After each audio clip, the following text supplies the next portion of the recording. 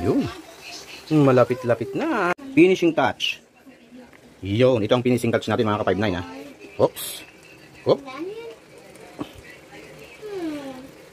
Nako po. Uh, what's that, sweetie? Moment of truth. Ah, moment of truth. Okay, moment of truth daw.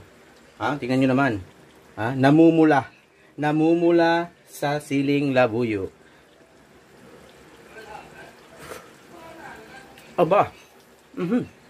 Mukhang Mhm. Mukhang mapaparami tayo ng kanin ito. Ha? Mukhang mapaparami ng kanin. Mhm, mhm, mhm, mhm. Tumutulo ng ating pawis.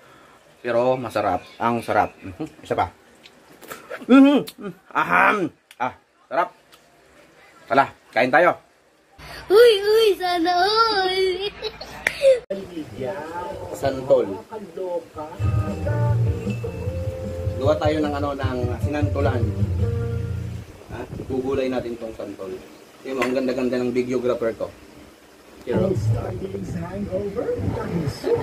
Aba! natin ng konting asin. Papakul tayo. Yan, kumulo na ang ating santol. Pipigaan natin yan ng ah, kanyang ah, katas. Yan, may, may katas yan. Yan. Taba ng baboy. Yan. Kukunin ng katas. Yo! Naging chicharo na ang ating taba.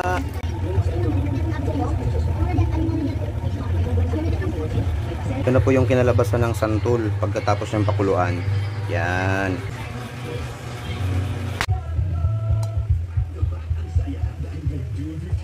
Yan. Yung ating mga sangkap no sa ating sinantulan. Yan. Unang-una syempre yung santol natin. Pangalawang gata, kakang gata, in-slice na hipon at saka yung kanyang ulo at ang ginawa natin chicharon. Yan. At ang kanilang ricado. Ha? Yan. Mga pangunahing ricado lang. Luya, bawang, sibuyas, sili, tanlad at syempre yung pangpatikas na tatlong yan. Yun. Oops. Okay, start na tayo sa ating ah, sinantulan. At ang aking, yung assistant ko. assistant cook si Bibi Busta. Yay! Bigyan natin konting ah, gata. Hello pa. Yan. Tapos kunting kakang gata. May sibuyas to. Ano, kakang gata, kunti lang. Yan. Atin ang Bawang. bawang. Yan, bawang. Papa, can I do it? Pwede na.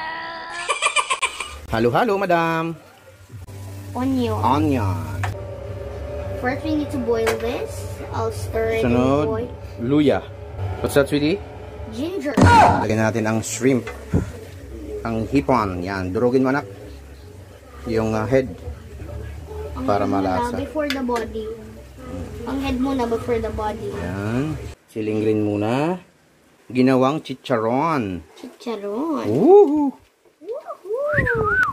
The lemongrass. Yan. Lemon. Yan. Para mas ah, malasa ang hipon, durugin natin ang ulo. Lagay na natin ang santol. Oops. Yun. Hintayin lang natin na mm, maubos yung sabaw. Tapos saka natin ilalagay ito. Yung kakang gata. Yan, medyo tuyo na. So, panahon na para ilagay ang kakang gata.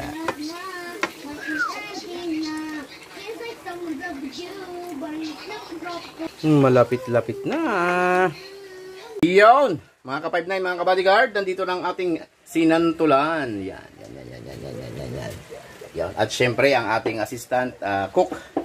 Ha, hindi na alis yan. Yan, oh. Aking sweetie, kahit ang init dito sa kusina. dito siya. finishing touch. Yun, itong finishing touch natin mga ka-59 ha. Oops. Oop. I know. Nako po. I don't want to get wet my uni. Anyway. Mhm. So, na, tikiman na mga ka-59, mga ka-bodyguard. Yan, nandito ang ating ah, assistant cook. Yan. Uh, what's that, sweetie? Moment of truth. Ah, moment of truth. Okay, moment of truth daw. Ha, tingnan nyo naman. Ha, namumula. Namumula sa siling labuyo. Aba. Mhm. Mukhang Mhm. Mukhang mapaparami tayo ng kanin ito. Ha? Mukhang mapaparami ng kanin. Mhm, mhm, mhm, mhm. Tumutulo ng ating pawis. Pero masarap. Ang sarap. Mhm. Isa pa. Mhm. Aham. Ah, sarap. Tala, kain tayo.